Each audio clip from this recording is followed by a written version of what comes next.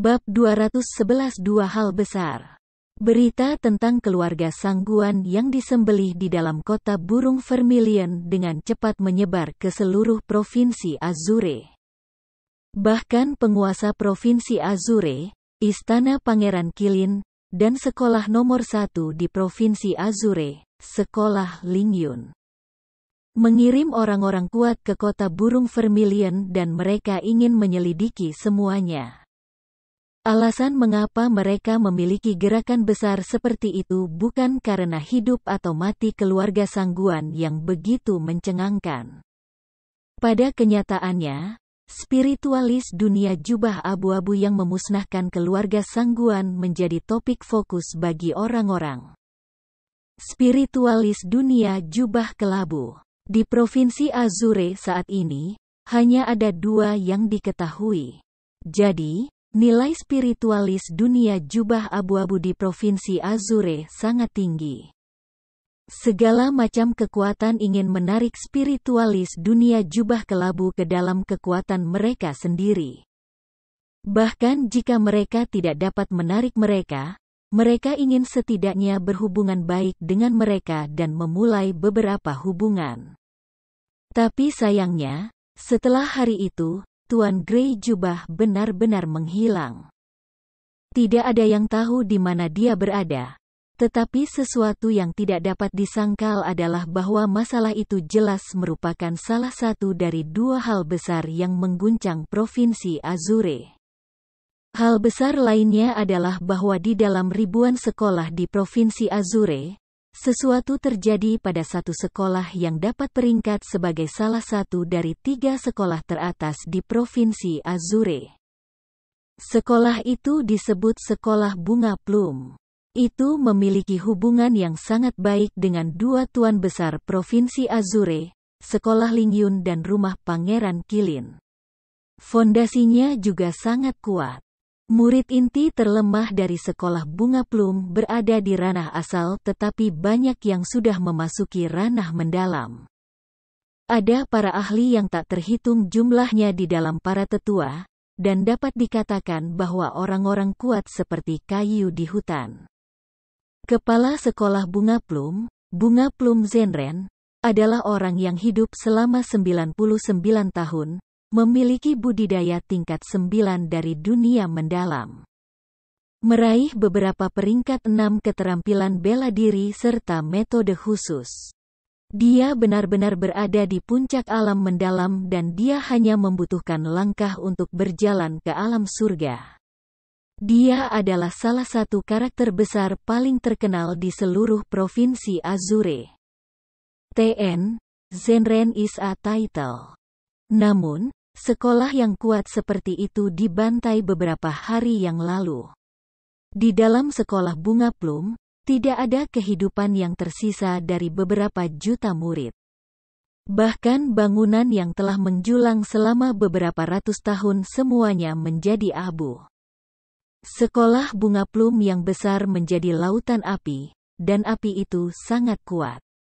Bahkan penguasa rumah Pangeran Kilin, dan juga kepala sekolah Lingyun tidak bisa melangkah ke dalamnya. Lautan api yang begitu menakutkan membuat orang menghubungkannya dengan lautan api yang muncul di dalam gurun beberapa bulan yang lalu.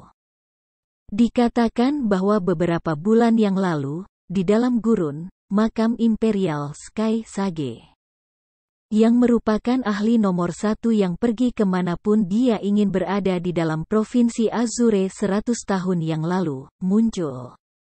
Ketika berita itu menyebar, rumah Pangeran Kilin dan sekolah Lingyun, dan juga berbagai kekuatan besar Provinsi Azure mengirim orang-orang kuat untuk menyelidikinya. Tetapi mereka terhalang oleh lautan api dan mereka tidak mungkin mendekati.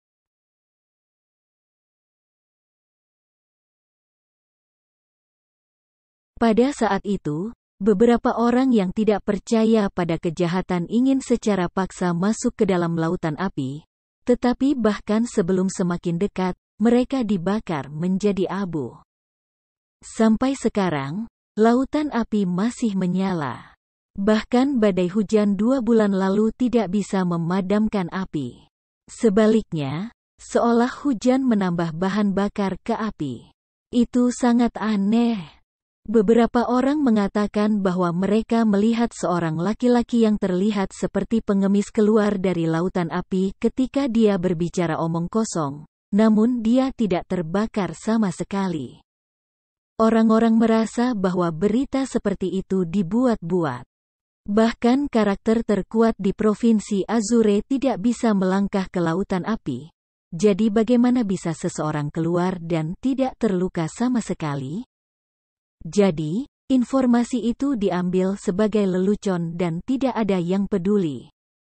Tetapi hal yang paling aneh adalah pada hari di mana sekolah bunga plum dimusnahkan. Ada orang-orang yang juga melihat seorang pengemis keluar dari sekolah bunga plum. Setelah sekolah bunga plum dihancurkan, beberapa orang melihat pengemis yang berada di luar sekolah bunga plum. Pengemis itu tidak terluka sama sekali tetapi dia hanya sedikit gila. Beberapa orang ingin tahu dan mereka merasa bahwa mungkin pengemis itu mengetahui beberapa kebenaran. Jadi, mereka naik dan bertanya kepadanya tentang sekolah bunga plum.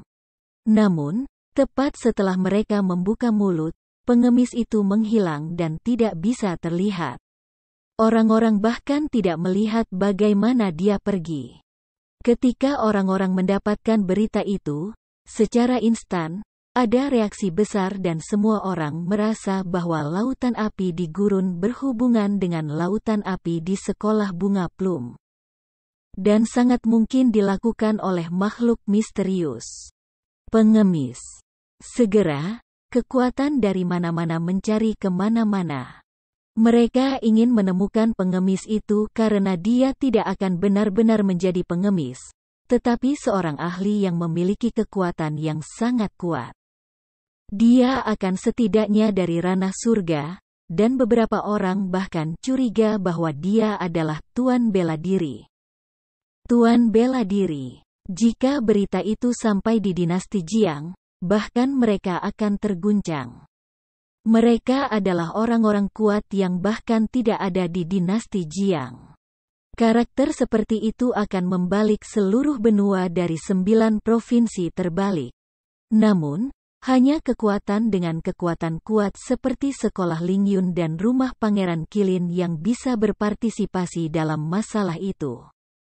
Yang lain hanya bisa melihat keaktifan, jadi meskipun dua hal besar mengejutkan orang, Kekuatan seperti sekolah kelas 2 tidak berubah sama sekali. Bahkan, sekolah kelas 2, sekolah void, tetap normal dan biasa. Murid-murid yang harus berkultivasi adalah berkultivasi, dan para tetua yang seharusnya mengajar memberi kuliah. Hanya zona inti yang benar-benar sunyi. Beberapa hari yang lalu, Kepala sekolah secara pribadi memerintahkan semua murid inti untuk meninggalkan zona inti dan juga zona inti untuk dikunci untuk perbaikan bangunan. Adapun mengapa itu perlu dikunci, tentu saja, itu adalah janji Tuan Grey Jubah. Dia akan mengatur arai formasi roh di zona inti. Untuk jaga-jaga, jika ada musuh yang menyerbu di masa depan, mereka dapat melindungi fondasi yang paling penting. Setelah beberapa hari berbaring, Chu Feng akhirnya menyelesaikan arai formasi roh. Meskipun ia kekurangan kultivasi dan memiliki kekuatan roh yang tidak memadai, yang menyebabkan arai pembentukan roh memiliki kekurangan. Sama sekali tidak ada masalah untuk itu untuk memblokir serangan dari seseorang di tingkat ketiga dari ranah mendalam. Dalam kepala mata sekolah, arai formasi roh itu sangat sempurna. Jadi, saat dia tersentuh, dia bahkan memberi Chu Feng hadiah besar. 20 obat mendalam berkualitas tinggi. Itu tentu saja hadiah yang sangat besar. Bagaimanapun, Sekolah Void hanya biasa-biasa saja di sekolah kelas 2 dan kekuatannya jauh dari kekuatan sekolah Azure Dragon. Selain itu, 20 obat mendalam berkualitas tinggi masih sangat berharga untuk sekolah Azure Dragon. Maka dari itu, dapat dilihat bahwa sekolah Void benar-benar sangat berdarah. Bahkan jika mereka tidak benar-benar mengosongkan penyimpanan mereka, itu akan sangat dekat. Kepala sekolah, hadiah ini terlalu berharga.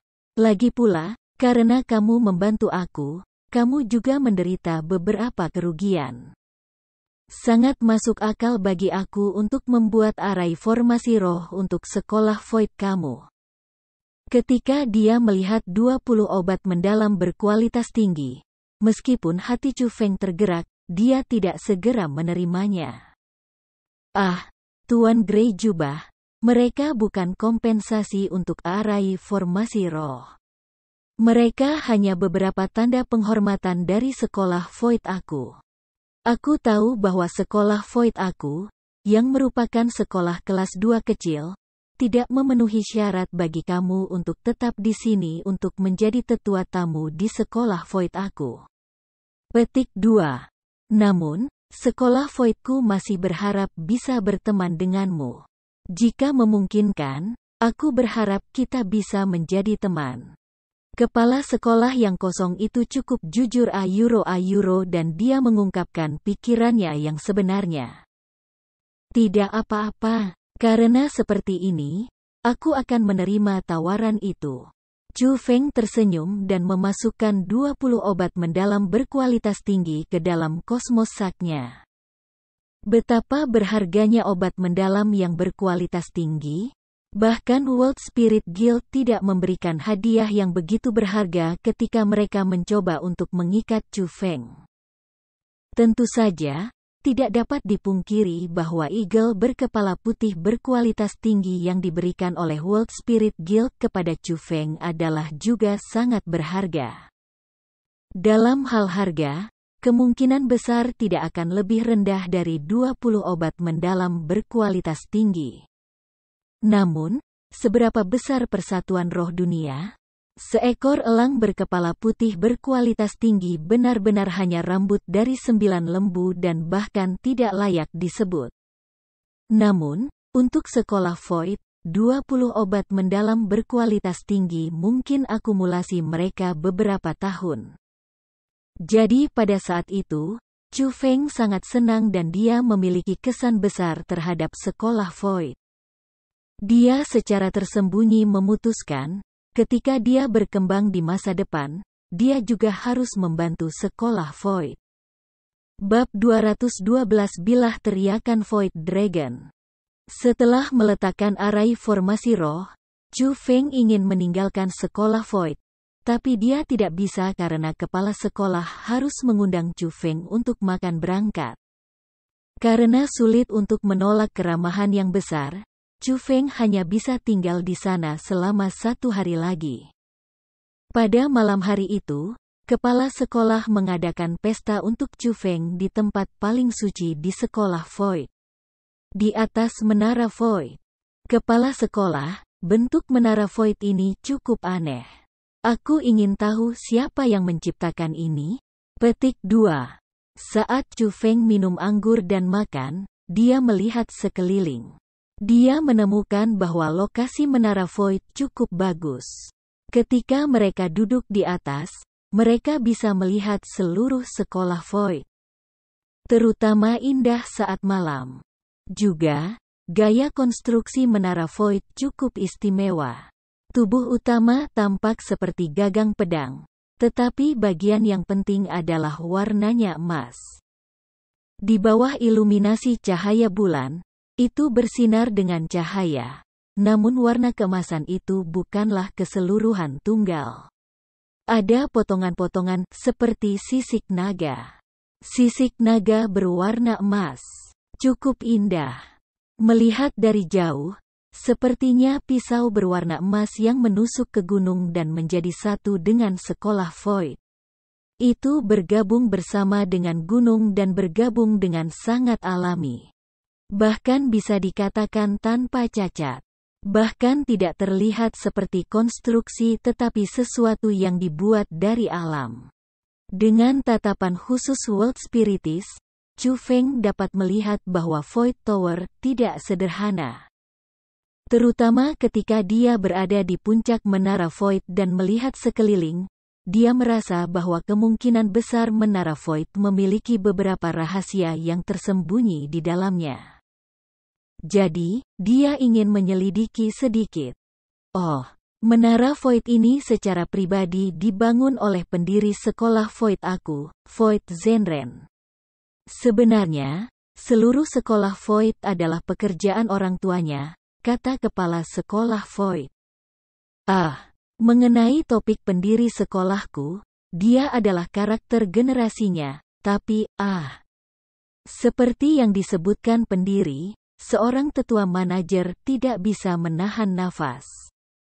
Ya, seribu tahun yang lalu, pendiri sekolah aku adalah karakter yang pergi bebas ke seluruh benua. Provinsi Azure yang sepele tidak bisa menahannya, dan pada saat itu, sekolah Void aku juga cukup terkenal di sembilan provinsi. Itu sangat makmur, dan sekolah Lingyun hari ini bahkan tidak bisa dibandingkan dengan itu. Petik 2. Tapi sayangnya, dia cukup sial. Pendiri aku bertemu dengan pendiri sekolah Azure Dragon. Dan karena permusuhan terbentuk di antara mereka berdua, mereka bertempur di puncak pengadilan kekaisaran. Pada akhirnya, dia dikalahkan oleh tangan Azure Dragon Founder. Petik 2. Sejak saat itu, pendiri aku tidak bisa bangkit lagi dari musim gugur itu. Pada akhirnya, dia meninggal dengan dendam di Void Mountain Range. Sampai sekarang, Orang hanya mengingat pendiri sekolah Azure Dragon seribu tahun yang lalu, pendiri Azure Dragon yang tiada taranya yang pergi ke tempat yang diinginkannya di benua itu. Petik 2. Di era itu, dia juga seorang karakter yang namanya tersebar di seluruh benua. Namun, tidak ada yang hari ini mengingat pendiri sekolah Void Aku atau sekolah Void Aku tidak akan berada di daerah terpencil seperti itu. Manajer senior lainnya terus menghela nafas. Tidak ada gunanya menyimpan dendam. Dalam setiap periode waktu, orang hanya mengingat orang terkuat. Hanya bisa dikatakan bahwa pendiri kita lahir di waktu yang salah dan bertemu dengan lawan yang mirip monster seperti pendiri Azure Dragon. Petik 2. Selain itu, kehancuran sekolah Void aku tidak dapat disalahkan pada pendiri. Dia pernah mengatakan bahwa keterampilan bela diri unik yang dia ciptakan tetap berada di Menara Void dan itu menunggu murid yang ditakdirkan untuk mengambilnya. Petik 2. Itu hanya karena fakta bahwa kita tidak berguna dan tidak dapat memahami keterampilan unik yang ditinggalkan oleh pendiri. Kalau tidak, bagaimana Void School bisa begitu kesepian? Petik 2. Apa yang ditekankan sekolah bukanlah seberapa kuat pendiri mereka. Itu menekankan apakah generasi berikut dapat melampaui senior mereka atau tidak, dan apakah mereka dapat menyebabkan sekolah berkembang. Petik 2. Jika itu tidak terjadi, sekolah Azure Dragon tidak akan menolak untuk tahap ini. Dan sekolah Lingyun tidak akan menjadi sekolah nomor satu di Provinsi Azure. Kepala sekolah Void tanpa daya mengguncangnya kepala. Keterampilan bela diri yang unik. Setelah mendengar tiga kata itu, mata Chu Feng menyala dan dia cepat setelah itu, dia bertanya. Aku ingin tahu keterampilan bela diri unik apa yang ditinggalkan oleh pendiri?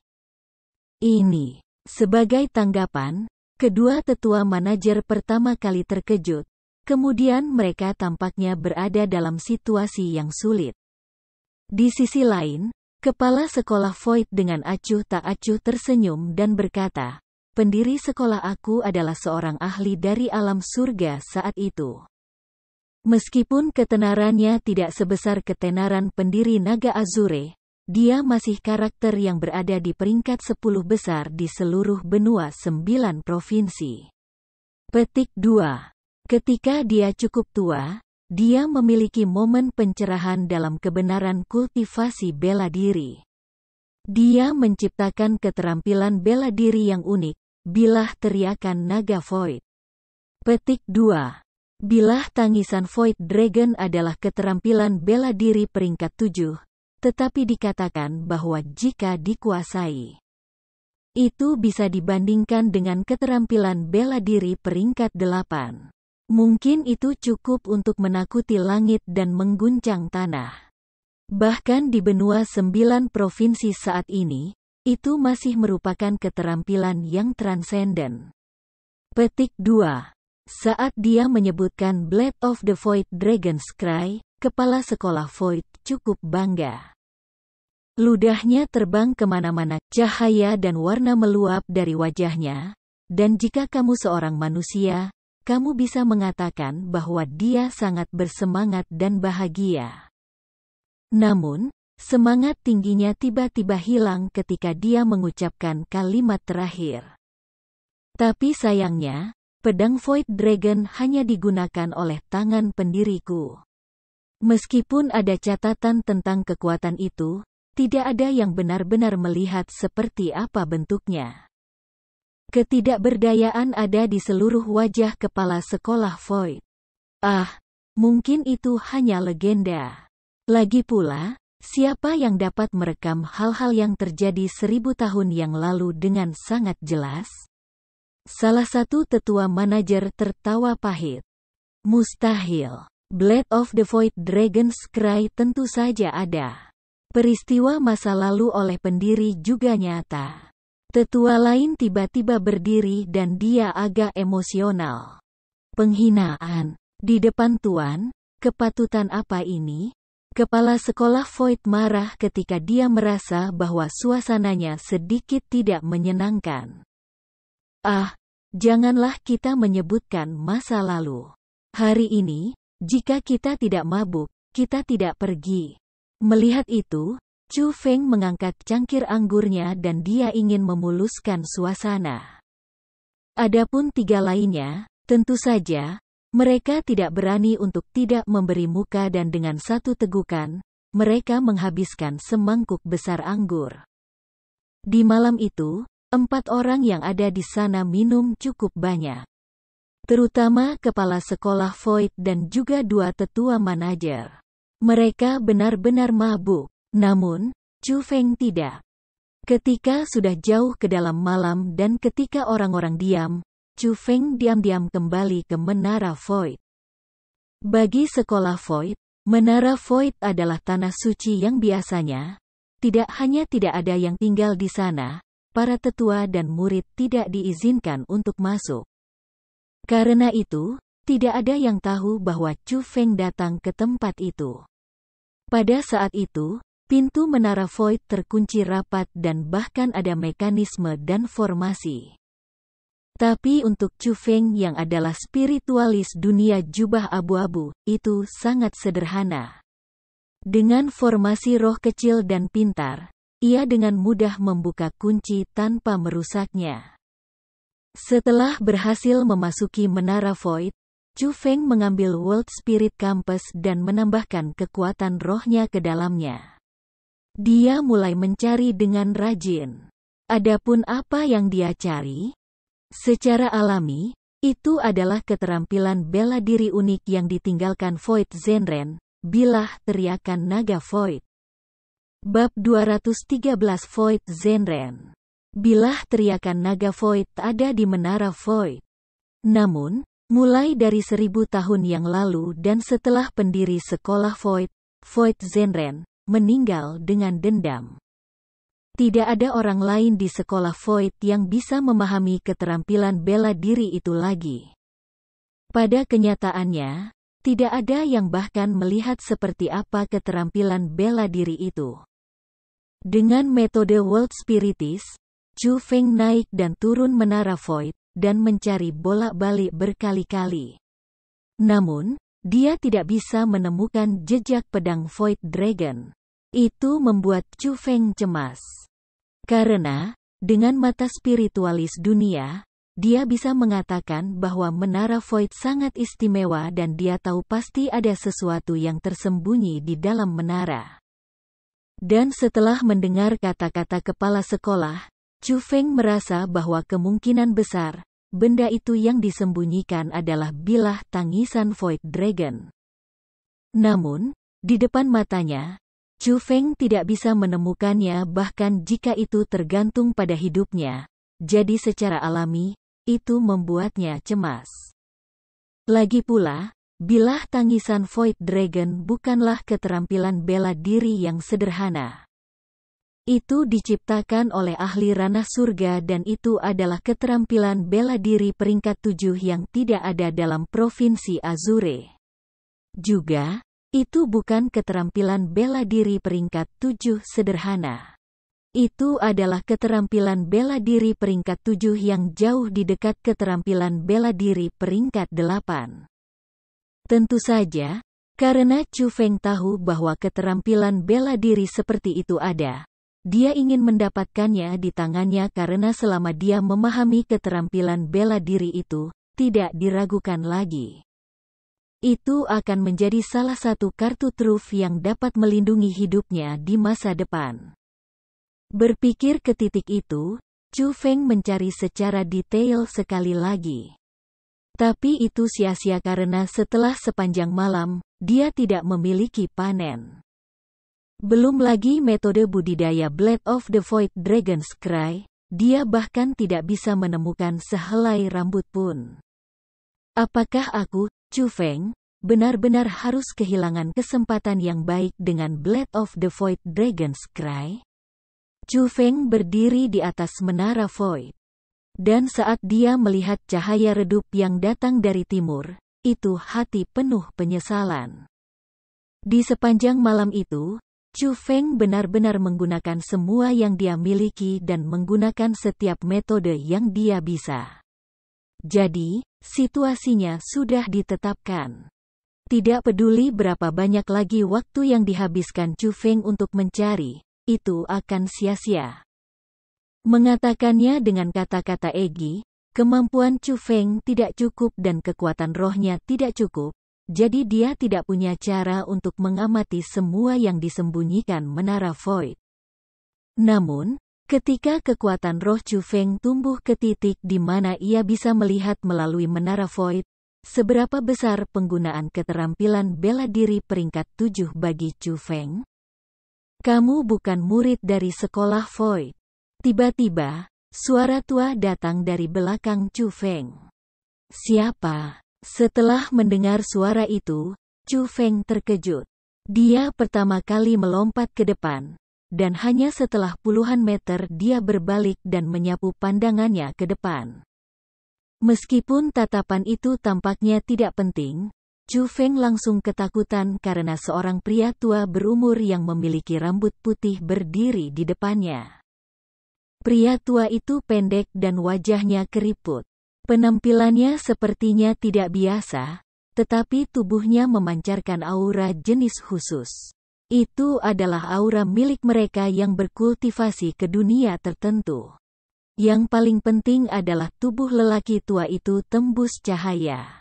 Itu berarti bahwa dia bukan bentuk kehidupan yang lengkap tetapi kesadaran.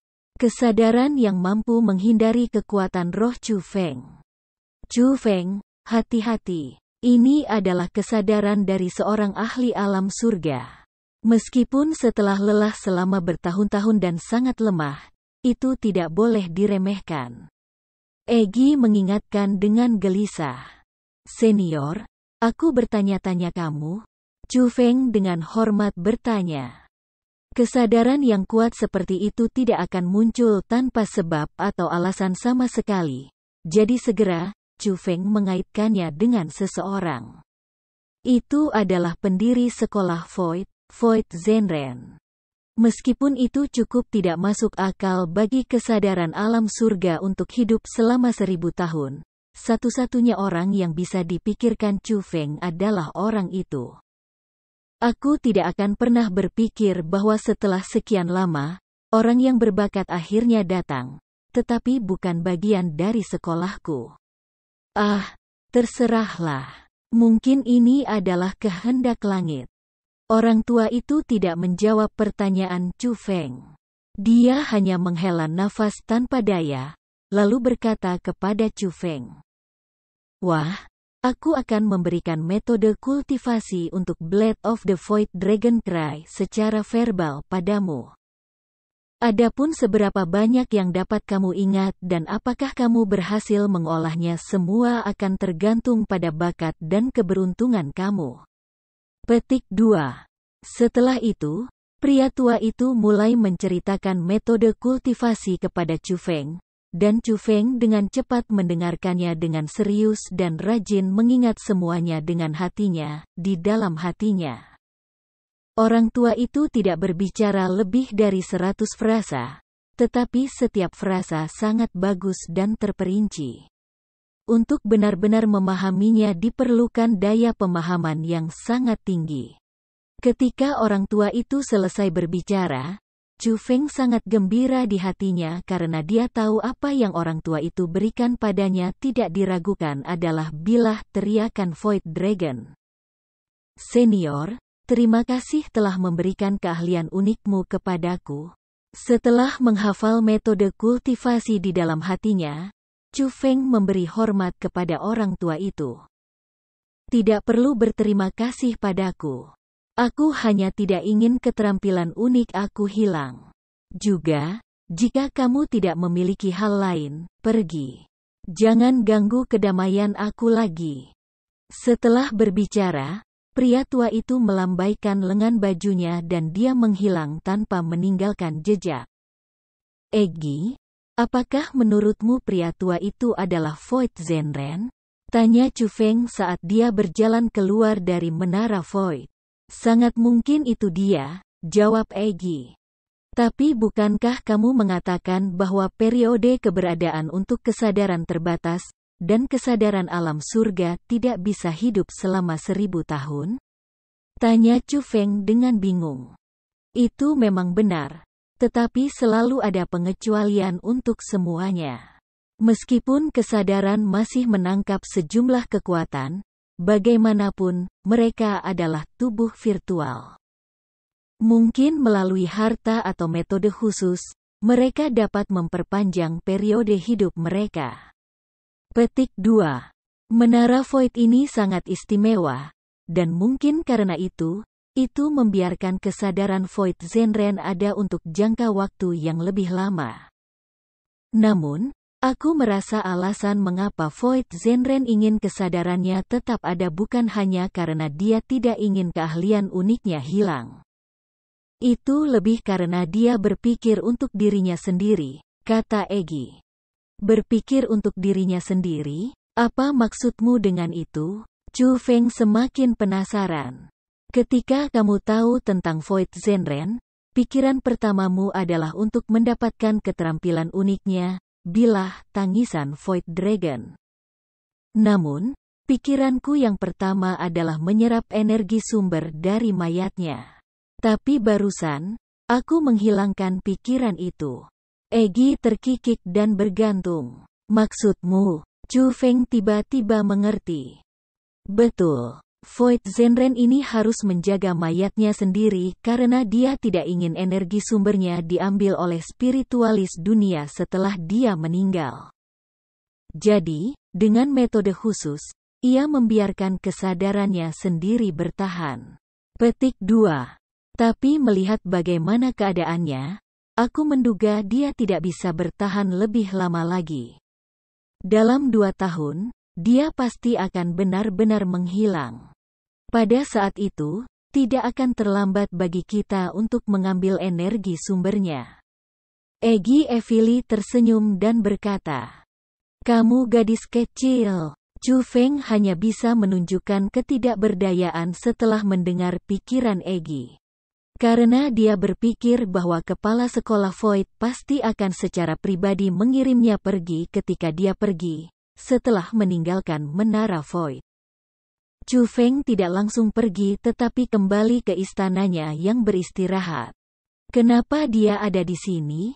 Apakah ternyata aku menyelinap ke menara Void? Petik 2.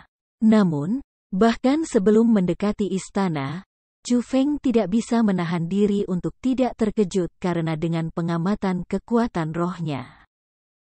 Kepala sekolah Void saat ini berdiri di pintu masuk ke istananya dan dia tampak agak cemas. Bab 214 Berita Kematian Eh, kepala sekolah, mengapa kamu bangun pagi-pagi begini? Petik 2. Meskipun kecurigaan muncul di hati Chu Feng, dia masih berjalan santai karena dia tidak takut dengan kepala sekolah Void. Mungkin kedengarannya sangat buruk, tetap, dengan kekuatan Chu Feng saat ini, selain monster tua yang tersembunyi di dalam menara Void, tidak ada yang bisa menghentikannya di sekolah Void. Tuan, senang kamu kembali. Aku menerima surat sekarang dan disebutkan bahwa itu harus diberikan kepada kamu. Petik 2. Aku khawatir berita kamu terbuka sehingga aku segera datang ke sini untuk menemukan kamu. Kepala sekolah Void gugup memberikan surat kepada Chu Feng. Setelah melihat surat itu, hati Chu Feng juga menegang karena surat itu sangat istimewa. Hanya mereka yang memiliki hubungan yang cukup baik dengan kepala sekolah Void akan memiliki surat yang dihargai oleh sekolah Void. Surat-surat itu juga segera dikirim ke kepala sekolah. Adapun surat itu, sebenarnya diberikan kepada Chu Feng oleh kepala sekolah Void, dan diberikan kepada Surou oleh Chu Feng karena dia khawatir bahwa setelah dia pergi, Surou dan yang lainnya akan menemui masalah. Jadi, Chu Feng memberitahu Surou di mana dia berada, dan juga memberitahunya jika dia menemui masalah, mengirim surat itu ke sekolah Void. Tidak ada hal lain yang diizinkan ditulis dalam surat itu. Satu-satunya hal yang diperlukan adalah untuk Tuan Grey Jubah, dan itu akan baik-baik saja. Setelah Chu Feng membuka surat itu, memang ada kata-kata di dalamnya, dan itu adalah tulisan tangan Surou. Bukan apa-apa, hanya teman. Chu Feng tersenyum pada kepala sekolah Void dan menjelaskan. Setelah itu, dia pergi dan tidak perlu kepala sekolah untuk mengirimnya pergi. Dia dengan cepat meninggalkan sekolah Void dan pergi ke tempat yang ditunjuk sebelumnya dengan Suro. Itu adalah sebuah kedai kecil, dan karena lokasinya agak bagus, ada banyak tamu yang masuk dan keluar. Keindahan Suro duduk di dalamnya, jadi secara alami, dia menjadi titik fokus orang. Bahkan, di sebelah meja tempat Surou duduk ada beberapa orang yang tidak memiliki mata. Pada saat itu, busa putih keluar dari mulut mereka dan mereka terluka parah. Tentu saja, mereka menerima serangan kekerasan dari hasil beberapa ejekan. Namun demikian, itu masih tidak dapat menghentikan laki-laki dari mengagumi kecantikan Surou. Itulah kekuatan daya tarik keindahan. Aku punya sesuatu untuk dibicarakan dengan wanita ini. Semuanya, tolong bantu dan beri kami dua ruang kosong. Petik 2. Tiba-tiba, sebuah suara meledak seperti guntur. Bahkan mangkuk anggur di atas meja bergetar di mana-mana. Perubahan itu menyebabkan semua orang di kedai panik. Bagaimana mereka berani mengatakan setengah kata tidak? Setiap orang berguling dan memanjat keluar karena mereka bisa tahu bahwa Chu Feng adalah seorang ahli budidaya bela diri. Orang seperti itu bukanlah seseorang yang bisa membuat mereka tersinggung. Apa yang terjadi? Ketika semua orang pergi, Chu Feng dengan hati-hati memandang Surou. Dia menemukan bahwa wajah Surou sangat jelek, jadi sesuatu yang besar pasti terjadi. Chu Feng, kamu harus tetap tenang. Surou pergi di depan Chu Feng dan sepasang matanya yang indah penuh kekhawatiran. Apa yang terjadi? Chu Feng merasa gelisah. Dia sadar bahwa masalah itu sangat mungkin terkait dengannya. Kota emas ungu telah dibantai. Selain generasi muda yang pergi berkultivasi, semua orang di keluarga Chu kamu telah terbunuh. Surou mengucapkan kata-kata itu dengan susah payah. Ta ta ta. Ketika kata-kata itu diucapkan, Chu Feng mundur tiga langkah. Seketika, wajahnya berubah pucat pasi dan napasnya cepat. Chu Feng, kamu baik-baik saja? Melihat itu, Surou dengan cepat naik untuk mendukung Chu Feng dan dia bahkan lebih khawatir. Pada saat itu, tubuh Chu Feng sedikit bergetar. Hanya setelah beberapa saat, barulah dia tenang. Dia bertanya dengan suara berat, bagaimana dengan ayah aku? Kakak laki-laki aku? Chu Yue dan yang lainnya, apakah mereka baik-baik saja? Petik 2. Kakak laki-laki kamu masih di sekolah Lingyun Budidaya. Chu Yue dan yang lainnya berada di sekolah Azure Dragon jadi semuanya baik-baik saja. Tapi ayahmu, Surou tidak menyelesaikan kata-katanya. Namun, Chu Feng sudah mengerti artinya. Dia menutup kedua matanya, dan pada saat itu, dua aliran air mata sudah meluncur turun dari matanya.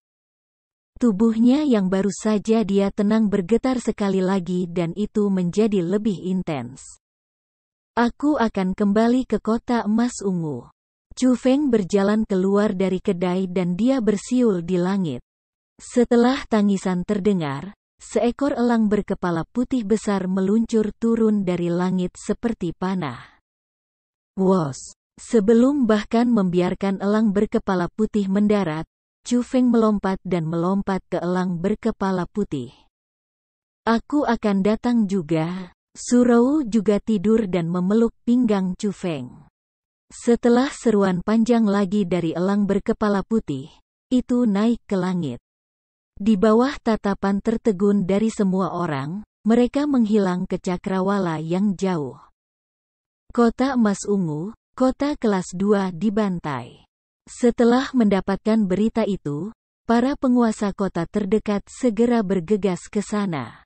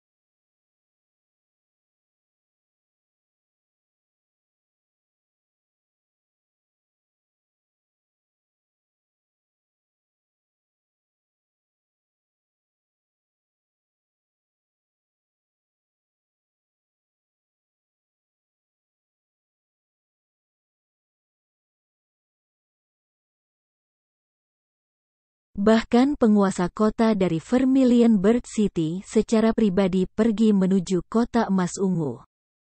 Dalam sekejap para penguasa kota memasuki kota emas ungu, wajah mereka tidak dapat membantu tetapi sangat berubah karena pada saat itu, kota emas ungu hanya dapat digambarkan dengan beberapa kata. Yang paling pas adalah, pemandangan yang terlalu mengerikan untuk dilihat. Ketika Chu Feng membantai keluarga Sangguan, dia hanya membantai keluarga mereka. Tapi kota emas ungu yang dibantai adalah seluruh kota. Di dalam kota emas ungu, tidak peduli apakah mereka pejabat tinggi, klan bangsawan, atau bahkan rakyat jelata, tidak ada satu orang pun yang hidup. Meskipun darah sudah mengering, para dewa masih bisa melihat kemerahan yang gelap. Darah berceceran di mana-mana, dan setelah memasuki kota, bau busuk yang kuat bisa tercium. Itu bau darah. Siapa yang mungkin melakukan hal semacam ini? Seorang penguasa kota tinggi yang baru saja tiba marah setelah melihat adegan itu. Mereka datang untuk keluarga Chu. Tepat pada saat itu, seorang pria yang agak gemuk berjalan keluar kota. Dia juga seorang penguasa kota dari kota tetangga. Keluarga Chu, tuan kota tinggi dan besar itu menunjukkan kebingungan. Ini keluarga Chu Feng. Tuan kota yang sedikit gemuk menjawab. Chu Feng, pemuda itu, bagaimana kamu tahu bahwa mereka datang untuk keluarga Chu? Tuan kota tinggi dan besar mempertanyakan. Kamu akan tahu setelah masuk. Tuan kota yang sedikit gemuk menunjuk ke arah kota. Sebagai tanggapan, penguasa kota tinggi dan besar dengan cepat turun kuda dan berjalan ke kota. Para penjaga di belakangnya mengikuti dengan cermat, tetapi setelah mereka memasuki kota, mereka berdiri di tempat mereka berada dan syok memenuhi wajah mereka. Di alun-alun kota emas ungu, sebuah kerangka tinggi dan besar didirikan di sana. Di bawah bingkai ada mayat-mayat yang ada di mana-mana tanpa urutan. Beberapa kepala digantung di atas bingkai. Mereka semua orang dari keluarga Chu.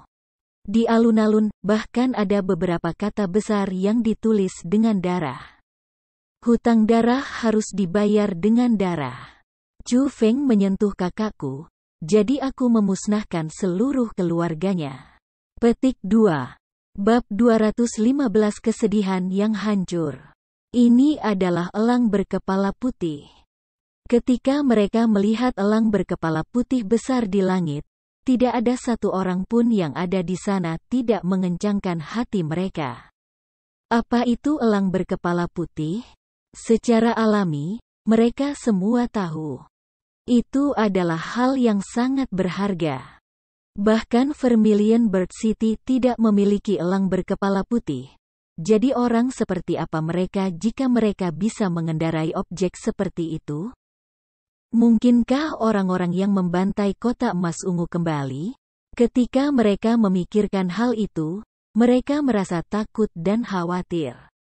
Tetapi setelah elang kepala putih mendarat di tanah, tidak hanya kegelisahan mereka menghilang, mereka bahkan bersuka cita karena dua orang yang duduk di elang kepala putih bukan musuh besar. Itu adalah wanita kedua dari kota burung Vermilion, Surou, dan juga jenius muda yang mengguncang kota burung Vermilion, Chu Feng. Ini wanita kedua. Ini bagus. Wanita kedua ada di sini. Kami sekarang memiliki tulang punggung. Petik 2. Setelah melihat Surou, beberapa penguasa kota dengan cepat pergi untuk menyambutnya. Kultivasi mereka berada di puncak ranah asal, jadi jika orang-orang yang membantai kota kembali, mereka benar-benar tidak memiliki cara untuk melawannya. Namun, Surou adalah seorang tetua dari sekolah Azure Dragon dan dia adalah orang yang benar-benar kuat di ranah mendalam. Jadi, sejak Surau muncul, tentu saja, mereka merasa sedikit lebih aman. Chu Feng, kamu harus kuat. Pada saat yang sama mereka menyambut Surou, beberapa penguasa kota tidak lupa menghibur Chu Feng. Mereka sangat takut bahwa seorang pemuda seperti dia tidak akan mampu menanggung serangan yang akan datang. Chu Feng mengangguk ke arah niat baik mereka dan dia memaksakan senyum ringan sebelum mendorong kerumunan pergi dan berjalan menuju plaza. Ketika dia berada di udara, dia sudah melihat kata-kata besar yang ditulis dengan darah. Dia tahu bahwa musibah itu diprakarsai olehnya. Dia berjalan ke alun-alun dan dia melihat kepala tergantung di bingkai tinggi. Yang tertua adalah orang tua yang berusia lanjut, yang termuda adalah anak-anak kecil. Ketika dia melihat setiap wajah yang dikenalinya, hati Chu Feng benar-benar merasa seolah-olah pisau mengaduknya karena kematian orang-orang itu disebabkan olehnya. Tiba-tiba, tubuh Chu Feng bergetar hebat dan hatinya seolah-olah pisau menembusnya. Air mata yang dia pegang dengan kuat di matanya langsung meletus tak terkendali. Dia melihat wajah yang akrab. Itu adalah orang yang membesarkannya selama 15 tahun, ayahnya, Chu Yuan. Di sebelahnya adalah mantan kepala keluarga-keluarga Chu, Chu Yuan Ba, serta ayah Chu Yue, Chu Renyi. Mereka yang memperlakukannya dengan baik di masa lalu, atau mereka yang memperlakukannya dengan tidak baik di masa lalu semuanya mati di depan matanya. Mereka mati karena dia. Maaf, maaf, aku membunuh kalian semua, aku membunuh kalian semua. Tiba-tiba, Chu Feng berlutut di tanah dan dia dengan ganas menabrak kepalanya. Kekuatan yang kuat menyebabkan batu hitam itu membentuk lekukan yang dalam. Ketika pecahan batu itu terbang, mereka menjalin air mata. Chu Feng, jangan lakukan ini. Itu sudah terjadi dan kamu tidak dapat mengubah apa pun dengan melakukan ini. Melihat itu, Surou dengan cepat naik untuk menarik Chu Feng, tetapi dia bahkan tidak bisa memindahkannya. Kemudian, dia tidak menghalangi dia lagi. Dia tahu betapa sakitnya perasaan Chu Feng karena keluarganya sendiri terbunuh karena dirinya sendiri. Perasaan itu cukup untuk menyebabkan seseorang runtuh. Menyalahkan diri sendiri itu menyebabkan rasa sakit yang cukup baginya untuk mati. Sama seperti itu, Chu Feng berlutut selama tiga hari tiga malam. Pada hari keempat, pasukan kota burung Vermilion tiba. Suhen bergegas, dan Sumei juga mengikuti. Ketika mereka melihat adegan itu, dan melihat Chu Feng seperti itu, hati setiap orang terasa sakit namun mereka tidak tahu bagaimana menghiburnya. Ketika tengah hari pada hari keempat, generasi muda keluarga Chu yang berkultivasi di sekolah Azure Dragon juga bergegas. Ayah, Ibu, Ah. Ketika Chu Wei, Chu Cheng, Chu Zhen, Chu Yue, Chu Sue dan yang lainnya memasuki kotak emas ungu dan melihat kepala orang tua mereka digantung, semuanya kehilangan kendali. Mereka semua melompat dan meratap dengan kesedihan yang menghancurkan. Chu Sue bahkan pingsan di tempat kejadian, karena tidak dapat menerima kenyataan itu. Chu Feng, kamu bajingan? Jika kamu tidak menimbulkan masalah di mana-mana, Bagaimana keluarga Cu aku akan berakhir seperti ini? Kembalikan orang tuaku padaku. Petik 2. Beberapa orang bahkan kehilangan akal ketika mereka melihat kematian buruk keluarga mereka. Mereka berlari ke Cufeng, memukul, menendang, mencakar, dan menggigitnya. Saat ia menghadapi serangan kekerasan mereka, Chu Feng tidak menghindari atau menghindari mereka. Dia berlutut lurus di tempat dia berada. Dia bersedia menerima serangan dan kutukan tanpa mengeluarkan suara. Cukup. Masalah ini bukan salah Chu Feng. Jika kamu memiliki kemampuan, cari orang yang membunuh orang tua kamu dan menagih hutang kamu dari mereka. Apa yang kamu lakukan di sini dengan memukul Chu Feng seperti ini? Petik 2. Pada saat itu, orang yang paling rasional adalah Chu Wei. Sebagai yang tertua di generasi muda keluarga Chu, ia dengan kuat menahan rasa sakit karena kehilangan keluarganya dan berdiri. Dia menarik orang-orang yang tidak masuk akal ke samping dan bahkan menghibur Chu Feng. Chu Feng, tidak perlu terlalu menyalahkan diri sendiri. Kamu harus tetap kuat, karena satu-satunya orang yang bisa membalas keluarga Chu aku adalah kamu. Petik 2. Namun, Chu Feng tidak menjawab seolah-olah dia tidak mendengar apa yang dikatakan Chu Wei. Dia hanya terus berlutut di tempat dia berada dan ekspresinya membuat hati seseorang sakit. Baru saat itulah orang menemukan bahwa Chu Feng bahkan tidak berkedip sekali untuk jangka waktu yang lama. Kedua matanya penuh menyalahkan diri sendiri ketika dia melihat anggota keluarga Chu yang sudah mati.